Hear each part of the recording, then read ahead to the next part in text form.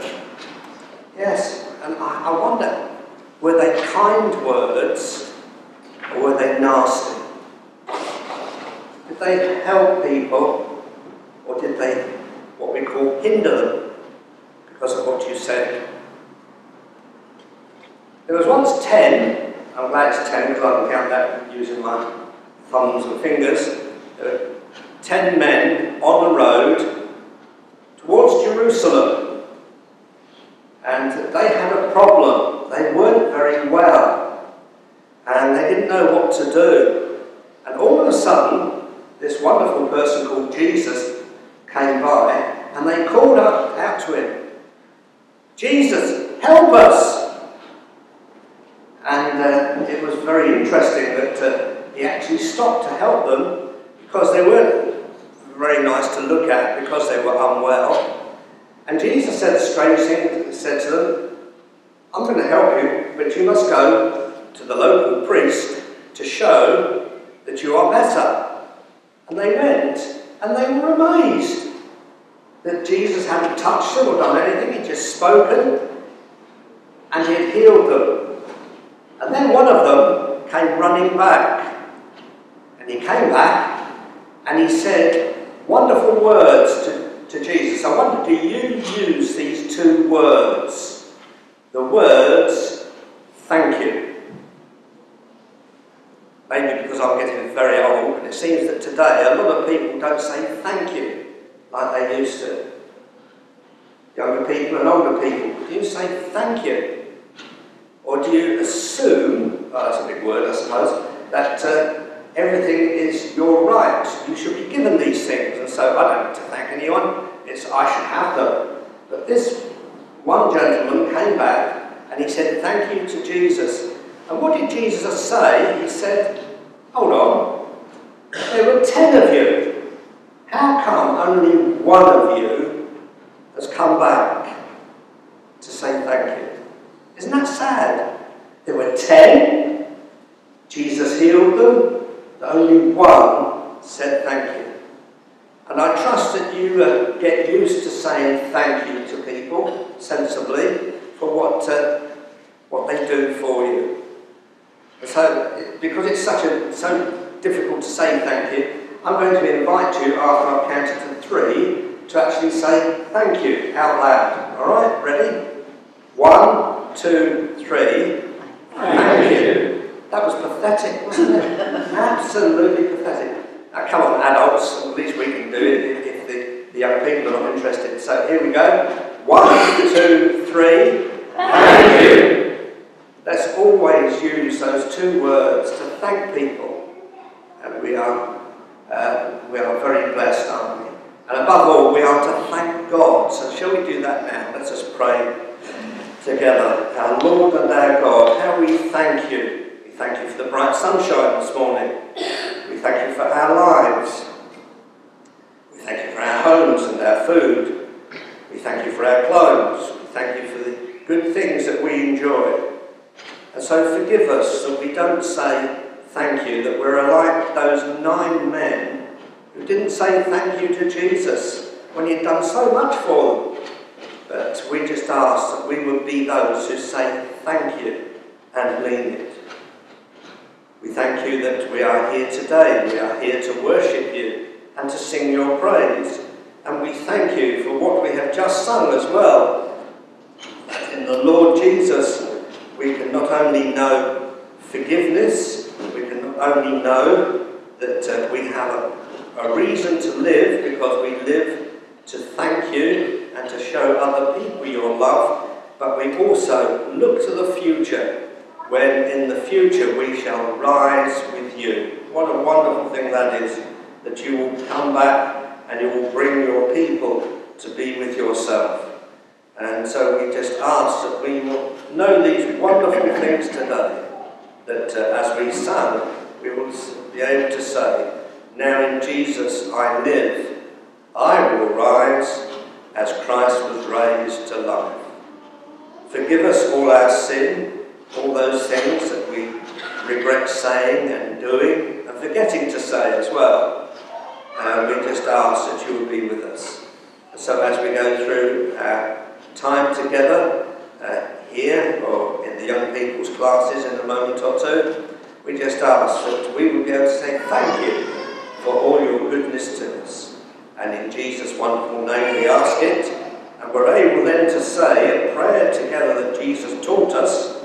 And it's uh, written in our order of service if you need it. We know it as the Lord's Prayer. And we say together, Our Father in heaven, hallowed be your name. Your kingdom come. Your will be done on earth as it is in heaven. Give us today our daily bread. Forgive us our sins as we forgive those who sin against us. And lead us not into temptation, but deliver us from the evil one.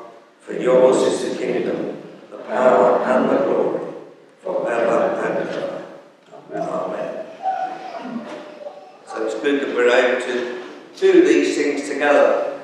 I'm here, my name's Clive Anderson, if you don't know, um, because our pastor, is, uh, Ben, is still uh, away. He will be back, God willing, leading us next Sunday when we can say normal service will be resumed. So I hope you'll join us there as well. So before the young people leave us, we're going to sing a wonderful thing that reminds us that we're special because God loves us. I'm special because God has loved me.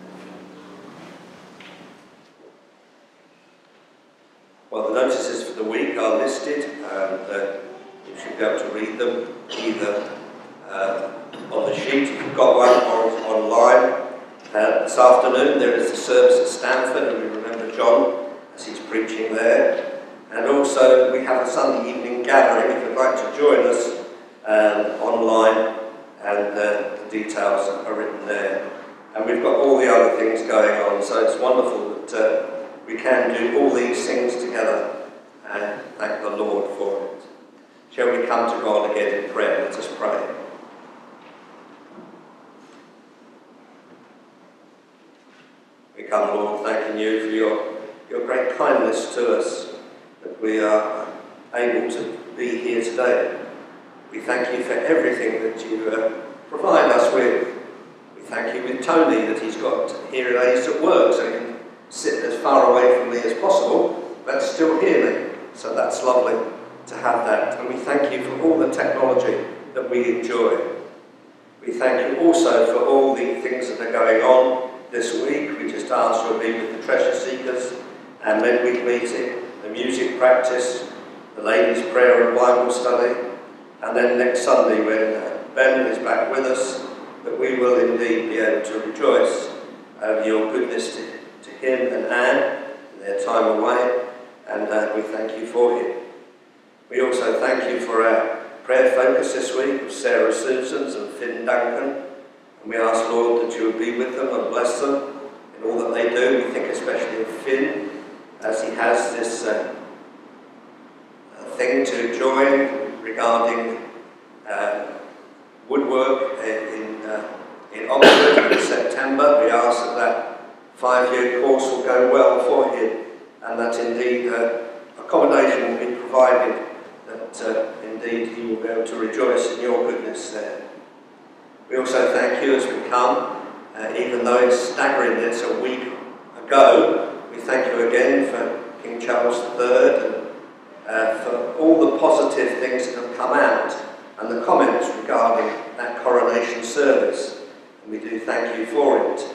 And we do indeed ask that you'll bless the King and his family richly. We just ask that you would be with them, that they would remember that you are the one who has done all things well. And so we thank you for him. We pray for our Prime Minister and uh, for those in government and in opposition, both national and local. We ask that you would be with them and help them, as many things will have to be decided upon and take place. Again, we pray about the situations in the world, that even in Israel, where we uh, told about uh, the conflict and seems to have some sort of uh, safety or, or, peace at the moment. We just pray that that would uh, be maintained, but also throughout the world, so many people suffering at the moment. Lord, have mercy on them and have mercy on the leaders. Oh, blessing God, we just ask that you would be the one who change the hearts. Again, we pray very particularly for President We don't know how much input he is allowed, or is he just a mouthpiece? We do not know. But we just ask that you would indeed stay in the hands of those who would like to cause violence and problems and become greedy for things they don't have.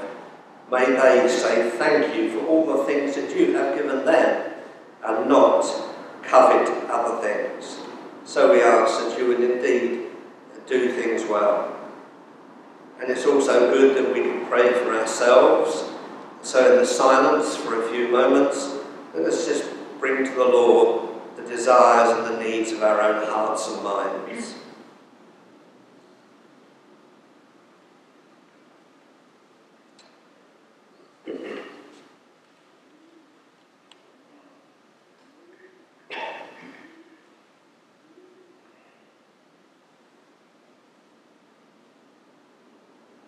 Again, we thank you, Lord, that even though we may be saying things to you all at the time, you are so mighty that you're able to hear and to answer. So we ask that you would be pleased with the forgiveness of our sins to hear and answer these our prayers and our petitions. For Jesus' name's sake we ask it. Amen. Now, even though Ben's away from us, we're still continuing to consider um, what's known as the Sermon on the Mount, and we come today, and it's written out there, uh, Matthew chapter 5, verses 21 to 26. It's, uh, again, a very powerful thing as we considered last week, uh, the previous verses to this. So here we are in Matthew 5:21, where Jesus said, you have heard that it was said to the people long ago, You shall not murder, and anyone who murders will be subject to judgment. But I tell you that anyone who is angry with a brother or sister will be subject to judgment. Again, anyone who says to a brother or sister, Raca, is answerable to the court. And anyone who says, You fool, will be in danger of the fire of hell. Therefore, if you are offering your gift to the altar, and then remember that your brother or sister has something against you, leave your gift there in front of the altar. First go and be reconciled to them, then come and offer your gift. Settle matters quickly with your adversary who is taking you to court. Do it while you are still together on the way that your adversary may hand you over to the judge, and the judge may hand you over to the officer, and you may be thrown into prison. Truly I tell you, you will not get out until you have paid the last penny. So we ask God to give us help in understanding uh, that reading. And before we come to, to consider it, we're going to sing, Blessed is the man, the man who does not walk in the counsel of the wicked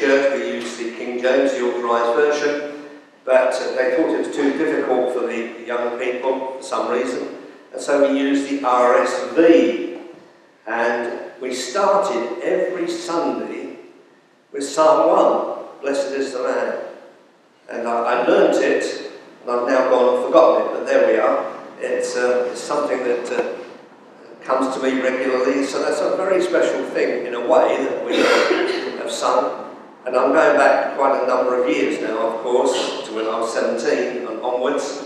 And I wonder what has happened to all those uh, young men that we had, uh, boy uh, I was with, and often think about them and pray for them and remember the things that were going on. It was uh, such a, a, a sad time as well. One of the boys who was there his young brother died in a tragic circumstance. He lived opposite where we were uh, in the church, in the flats, in a place called York Hill. And unfortunately, his little brother was out playing with his toys and didn't realise that uh, what we call the dustbin lorry, uh, as it reversed, it killed him. And it was very uh, powerful when I was 17, 18 years of age to be asked to pray for this, this situation because it was uh, obviously very difficult. But it reminds us that uh, we have these things throughout life, don't we? We have to face. So we pray for our young people that they do indeed know the blessing of the Lord in their lives. And I hope that many of them will end up to uh, becoming youth leaders wherever they are as well. So, after that preamble, let's turn to Matthew chapter 5, and I've called this I Say to You, uh, because it's something that comes from, uh, from now on uh, and uh, through very powerfully. Jesus kept saying, uh, uh, I tell you, I tell you that, you'll see that, but I say to you. It's something that he says. Now, the Sermon on the Mount, we call it on the Mount, those who have been there will know it's not a mountain, but uh, in all probability, it may have been, but I doubt it. But the Sermon on the Mount is the largest and fullest sermon that is recorded in Scripture, um, in, especially in regard to our Lord Jesus Christ. Uh, we may think that, uh, uh, say something like in Deuteronomy, uh, we have all that teaching of Moses that goes on chapter after chapter. But here we have here this wonderful Sermon on the Mount that Jesus preached. And I'm sure he re repeated it, maybe not in, in a block, but in, in sections throughout his ministry in different places. And he would go and he would say these powerful things to people. I say to you, because I want you to hear what I'm saying. I want you to take it on board. And I tell you, the emphasis we are getting is Jesus' authority. What right had he got to stand up and say anything to anyone? Well, he was obviously, in the uh, in a popular word, in a charismatic sense, he was very attractive to people. I think he probably had the most wonderful voice of all, and it would have been glorious to hear him speak. And we are told we will all hear him as we've been singing on the day of uh, his return, because he will speak and the dead will rise, and it will be through his word. So Jesus' authority, he's giving a, a particularly at the moment, what we're looking at, uh, moral principles to live by, that we should be those who are moral people, that live in a right way, and live for Him. And he contrasts that very clearly, as we saw in verse 20, and also as we go through, a group uh, of leaders called Pharisees and Sadducees, and uh, the scribes, the teachers of the law. Um, he sets himself up over their misinterpretations. They had taken uh, Moses' words and twisted them and added to them things that they should never have done. And so uh, Jesus is saying, well, you listen to what they say, but now I'm telling you, you listen to me. And that is uh, a very powerful thing. He, uh, he provides clear, powerful teaching. Teaching that hurts if we take it on board, because it really does cut to the quick, as we sometimes say. It's teaching that challenges and permeates the mind and hopefully will change people's behaviour as well.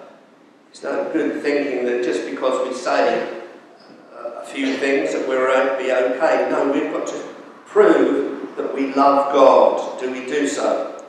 and prove it to God above all, not to anyone else, but other people should see in the change in which we live and the way we live that we are those who uh, do indeed follow Him.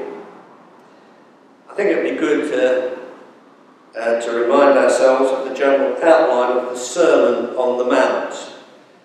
The Lord Jesus is concerned to describe the citizens of the kingdom of God. If you are a member of the kingdom of God, what do you like? Not what will you be like, but what should you be like? What should we be like? How do we live? And uh, we've been going through some of the things that Ben has been taking us through. So we saw in verses, uh, Matthew chapter 5, verses 3 to 12, what is known as the Beatitudes. Those things that show that we are indeed those who follow the Lord. And the way the Christian uh, should be, and in effect, are those who live those things out. We know the truth of them. We are those who are sorry for sin. We mourn because of our sin. But we long to see God, that we would uh, indeed be His. We get a lot of practical teaching, uh, as uh, we mentioned, particularly last time, uh, in verses 13 to 16. Jesus using the, the illustration of salt and light. You may not understand some things in the New Testament, but you can understand, I hope, salt and light. Uh, what it's used for and why we need it. And then we saw that Jesus challenges uh, uh, people with the concerning a right understanding of the law of God, the law and the prophets. So he mentioned last time those two, the law and the prophets, and we consider how often it comes across. It's like on the, the road to Emmaus on the resurrection, uh, the day of resurrection that Jesus met too, and he discussed with them what was had been going on, and then he revealed to them what was in the law and the prophets, those things concerning himself. Isn't that interesting? Now, many people say, Oh, I wish I'd been there. Uh, why wasn't it recorded? Well, it has been recorded for us. We can read the law and the prophets for ourselves. If you can read the English version of the Old Testament, it's all there. All about the Lord Jesus. And every time we read the Old Testament, we should see that, that we should ask God to, as we pray, Lord, reveal the Lord Jesus to us. Show us something about him to us as we read these wonderful things. And so the law and the prophets, and he kept on about saying in relation to himself. And we see that little phrase, law and the prophets, in relation to the Lord Jesus, is repeated in the, the New Testament. And uh, I won't go back over what we looked at last time. But now we've entered, it almost looks like a, a new section. Here we are in, from verse 21, and right the way through, and Ben will take us through the rest of it, I'm sure, to chapter 48, to the end of the chapter, that Jesus will be at pains to stress the Christian's righteousness. The person who is in, who says they are a member of the kingdom of God, they should be seen very different. Look at them. The language they use. It's not just thank you, it's the things they don't say, and the things we don't say and use. It's also the way we live. And it, uh, it's a great contrast again that as we go through, we will see that is made with the scribes and the Pharisees. Uh, we get that in verse 48 when we get there we will see that. Um, because Jesus says, Be perfect, therefore, as your heavenly Father is perfect. So if we say we are citizens of the kingdom of heaven, if we say that we are Christian people, we have to emulate God. We have to try and live as He is. He is perfect. Now we have to confess that we're not this sign of glory. But that is what we should be striving for, that we should be those who live for Him. And uh, be perfect, therefore, as your Heavenly Father is perfect. And that is why we need the operations of God, the Holy Spirit, within our lives. If we are a Christian, we are told in Romans chapter 8 very clearly that the Holy Spirit has entered you. You are a changed person. You are truly a charismatic person. That is uh, the word that is used, particularly in Romans 8. The charisma of God is the gift of eternal life. The charismatic life is the gift of God, and that is what we should all live for Him. And so the Lord Jesus um,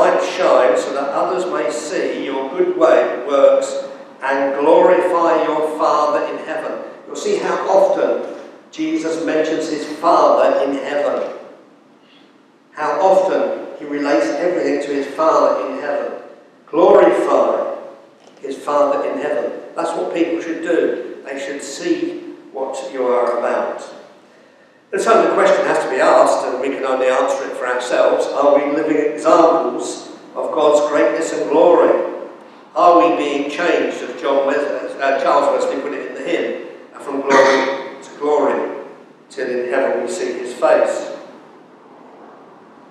We are not to look around and think, well, I'm better than they are. No. Am I someone who the Holy Spirit is working in? Have I a Holy Spirit controlled life? Or am I someone who is not under the control as I should be? We should all be attractive for Jesus. I don't know how attractive you are. You all look wonderful on this day. Um, had a, a wash, I assume. Um, and maybe you're wearing some sort of uh, aftershave or perfume or whatever it may be, all to make us look attractive. But are our very lives attractive to God? Are our lives attractive to other people? Or are we those who are those who we're, we're repellent, we, we drive people away instead of welcoming the Lord into our lives. So we should be attractive to Him so that others, they may have more than we do, um, but others may say, What is the cause of your peace? What is the cause of the way you live? Why is it you appear to be attractive? Well, it is for the Lord Jesus' sake. We should so, in these difficult times in which we live, so live for Him that uh, we reveal peace and hope. We may not possess all that the world offers, but we should have a peace that passes all understanding. So, considering those things, just to move on slightly now, again we are given more practical help here we are presented with a practical example by the Lord Jesus that uh, sadly we are confronted with today, I hope never personally, but certainly in the news. And so the next example Jesus gives is the one of murder. What a thought. See how often, I don't know how many of you saw on the news this past week, and they actually, I don't know if it was helpful or not, they actually uh, used the footage from where the 14 um, year old boy murdered another boy With, did you see the, the knife he had was enormous. It was really long. It was on a, a piece of timber as well. And they actually sewed it. It was shocking. That poor lad who suffered, but also 14 years of age to ruin your life like that.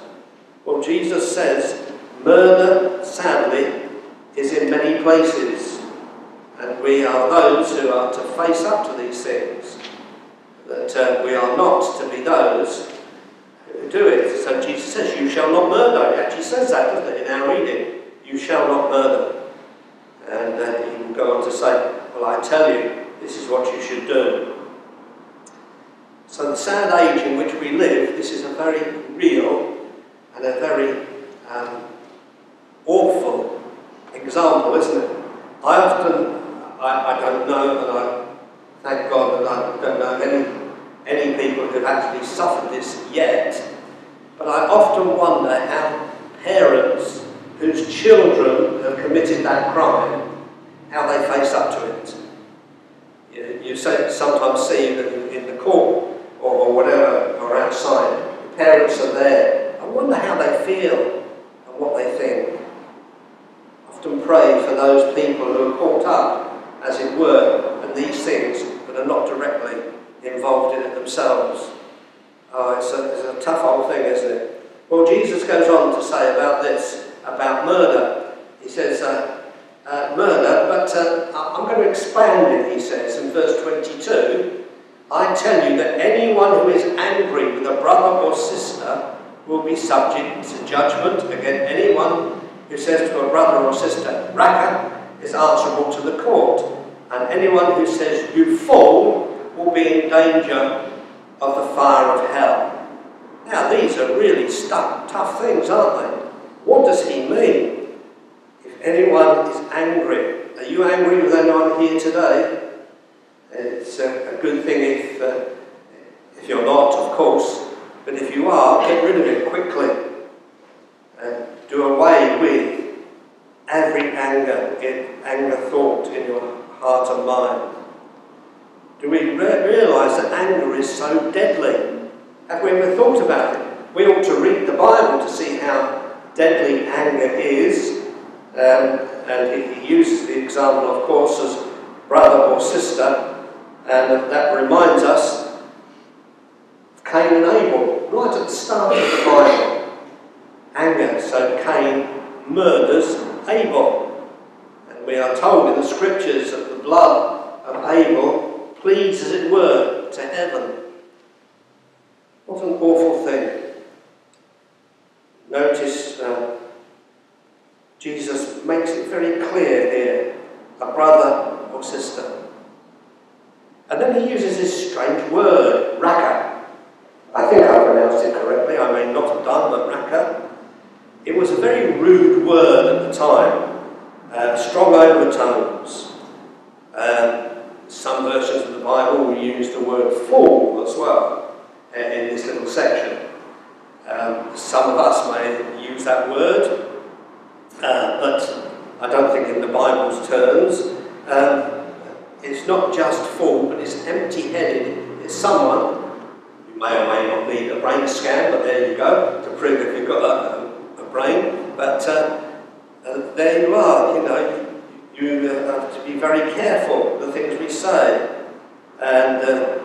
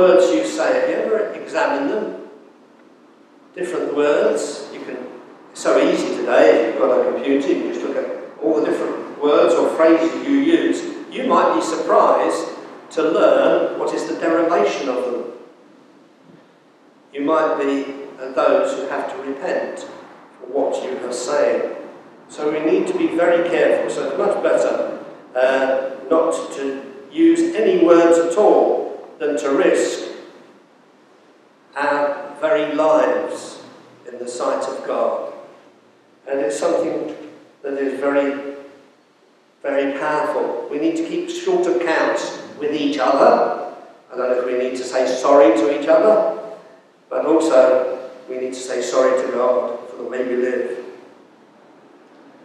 So it's a good thing. I don't need to remember um, to say those two words, thank you, but also to say the word sorry and mean it as well. And Jesus says here, the way he is teaching here, you fall, uh, brings the great danger of the fire of hell. I don't know if you know, but you can check it out for yourself very easily by reading uh, the New Testament, that Jesus spoke more about hell than he did about heaven. Have you ever thought about that? He wants you to be aware of the danger of there is this place that you can end up in. Just because you think you're good enough doesn't make you good enough. That if you do not follow Him, heaven is the way we ought to be aiming for and going for. And we need to lead other people to be very careful in what they say and where they say it. And so we need to say sorry for those things to God and to everyone else that is not right. And so we go on with here, uh, there's lots of practical teaching in our reading in verses 23 through 26. It's all about forgiveness. Forgiveness in different ways. Do we need to forgive others and do it soon? Do we need to do it before we bring an offering to God? Uh, I remember one preacher said this one Sunday. He said, Well, before we have, they had seat to seat offerings, before we, uh, we have any seat to seat offerings, is there anyone you need to say sorry to? Teaching on this, this passage. And he was surprised that several people got up and walked out. Um, I don't know if they came back or not, but they needed to go and uh, say sorry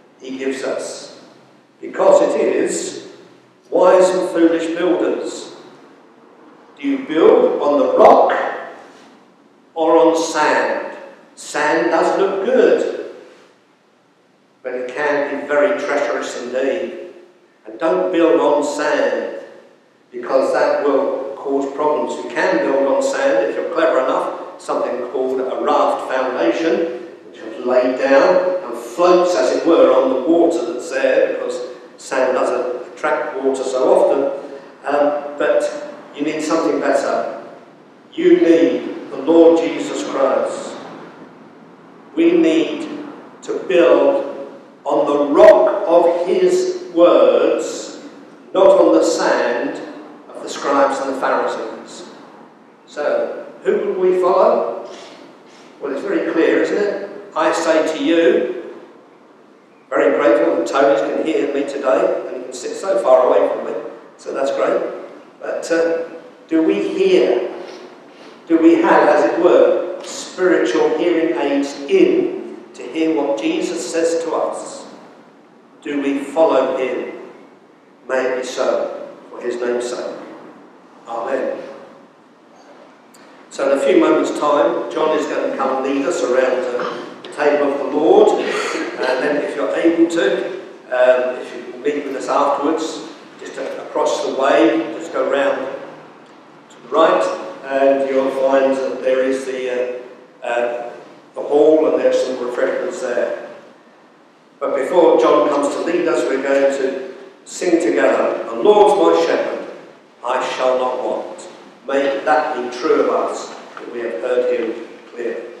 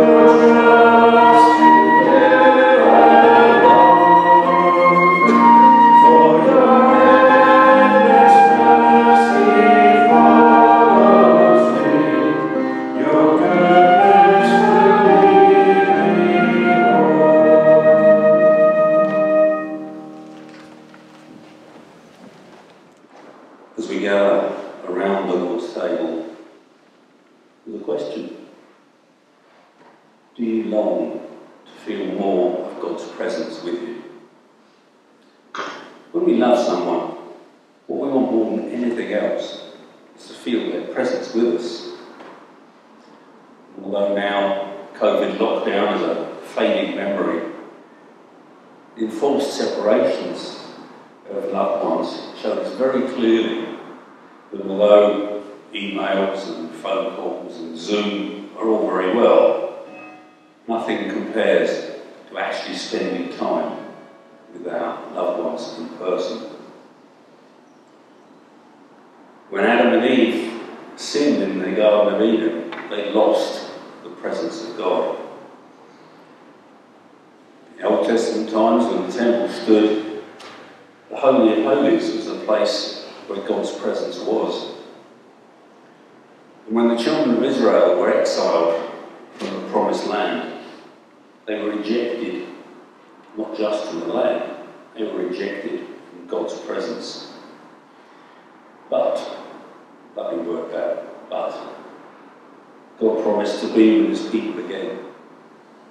And he fulfilled that, that promise in the coming of the Lord Jesus Christ on earth and in the coming of the Holy Spirit. When our Lord walked this earth, he was the temple where God's presence was seen, fulfilled. And of course, at Pentecost, the coming of the Holy Spirit, God's presence is with the believer. And uh, now, we read in the New Testament, Ephesians 2 tells us that we are built together to become a dwelling, a dwelling place in which God lives. So the communion service is a time to be still, a time to know who God is, and a time to seek His presence. So uh, we'll have a, a minute of silent meditation in, in a moment.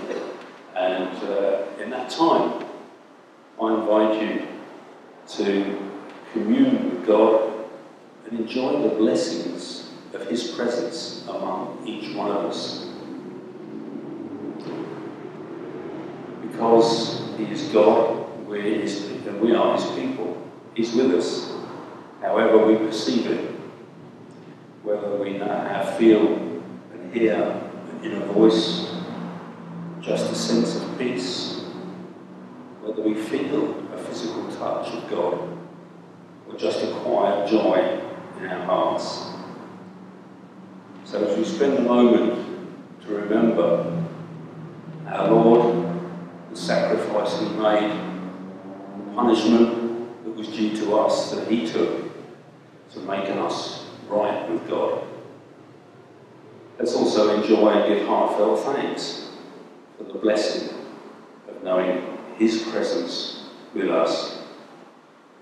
So we'll have a, a minute's quiet meditation and then Bob and Chris will give thanks for the bread and the wine.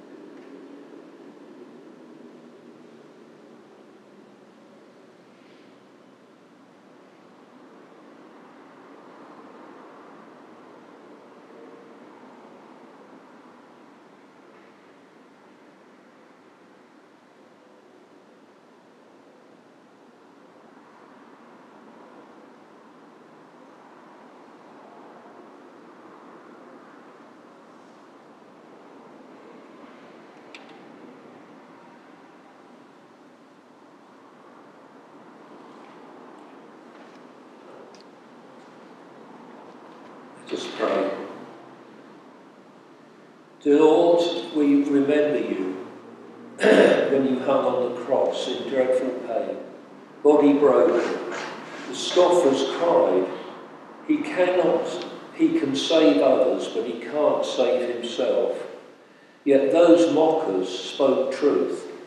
He did save others who trusted in him, and he couldn't save himself because he willingly did his Father's will and suffered death, even death on a cross. So we eat this bread, a staple food for mankind, and we remember the pain, the humiliation, and the weight of our sins borne by the Lord Jesus.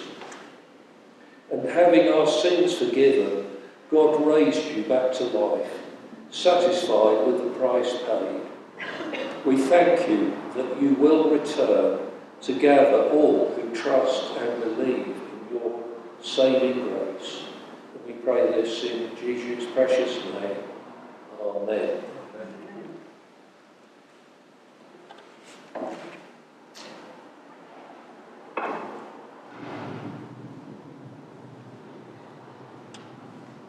Heavenly Father, it is good for us,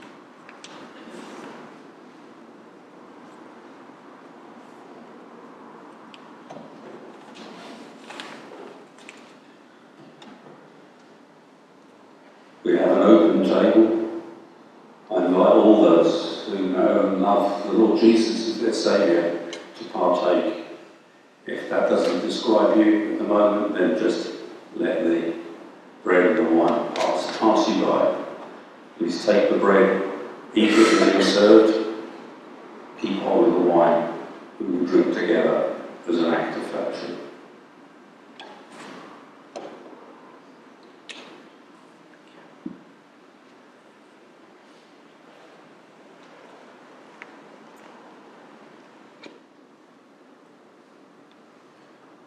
At the end of that Passover meal, the Lord Jesus picked up the wine, said, This is the new covenant in my blood.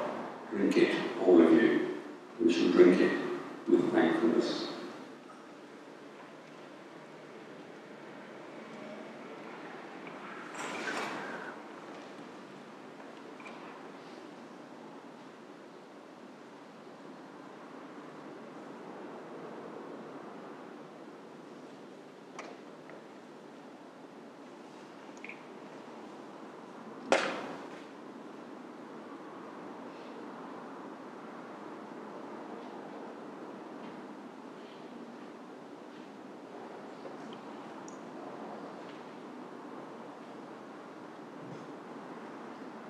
Thank you, Lord, that since the coming of the Lord Jesus,